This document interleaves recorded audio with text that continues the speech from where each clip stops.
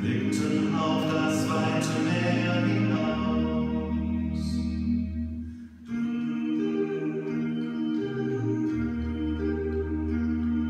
Da flüsterte sie schon, der Mond ist heute riesengroß, die Nacht ist viel zu schön, um je zu enden.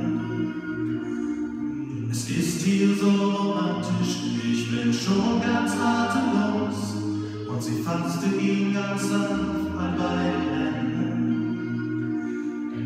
sagte, du, der Durchmesser des Monds am Firmament ist konstanter 30 Bogenminuten.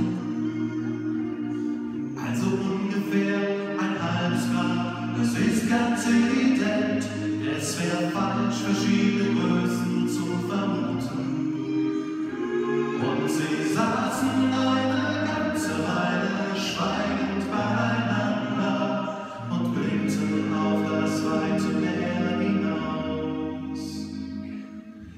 blickten auf das weite